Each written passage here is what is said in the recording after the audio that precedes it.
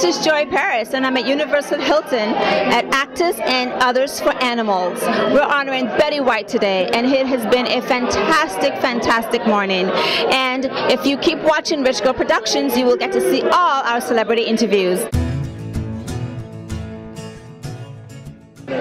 Betty deserves every award possibly on the planet that can be given to her. She's a marvelous entertainer and has been for a long time. And also, she, you know, all, for all she does to help animals who can't obviously speak up for themselves. Well, animals share the planet with us, and they really are. Um, I always have had a dog, and I love them, and they are our best friends. And uh, yes, it's easy to be someone to speak up for them. They deserve it too. Absolutely. Well, thank you so much for chatting with us. I appreciate your time, Susan. Thank you. Oh my gosh, Betty. Um, the remarkable thing about her is, you know, people are always asking me, what is it about her? What is her secret? Why is she so young and vibrant at 89 years old? And I'll tell you, 89. And I'll tell you, it is her passion.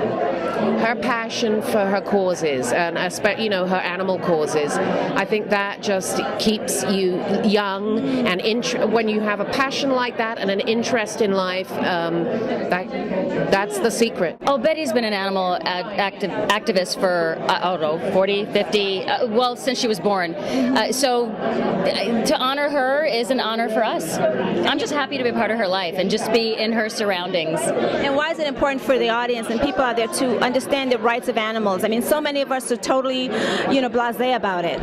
Look in an animal's eyes just once, and you'll see that they need rights too. I mean, they're they have feelings. They have. I mean, animals are special. Very special. In fact, I was upset leaving my two cats at home. well, thank you so much for talking with us. I appreciate your time. Thank you.